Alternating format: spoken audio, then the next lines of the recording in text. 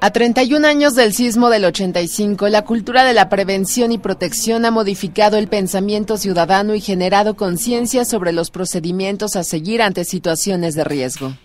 Así lo informaron autoridades del Servicio Sismológico Nacional al dar a conocer el trabajo que realiza la dependencia para enfrentar con mejor información los fenómenos naturales.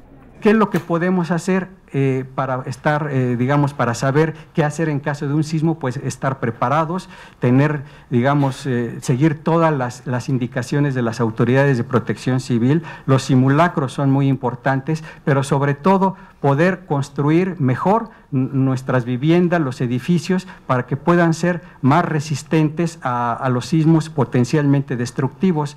Precisaron que hasta el momento no es posible predecir un sismo pero que estamos más capacitados para reaccionar. No es posible predecir los sismos.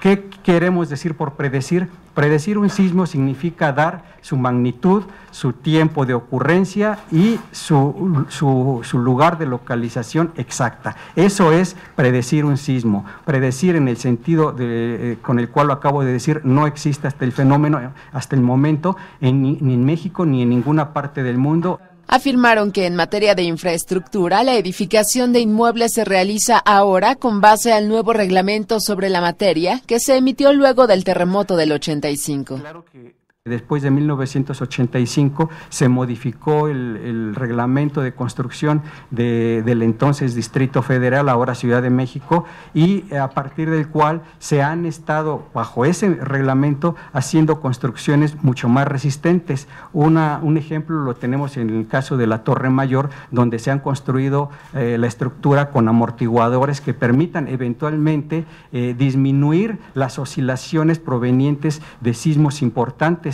Luego del balance de lo realizado hasta el momento, dijeron que algo sobresaliente es seguir fomentando los ejercicios de simulacro en todo el país. México es un país altamente sísmico, tenemos historia de sismos importantes y fuertes. Sin duda, los simulacros hay que tomarlos en serio porque la práctica hará que en el momento de la crisis respondamos mejor. Si no practicamos, lo más probable es que seamos erráticos en nuestras acciones. Con información de Gabriel Vaquero Rojas e imágenes de José Luis Leone. Notimex.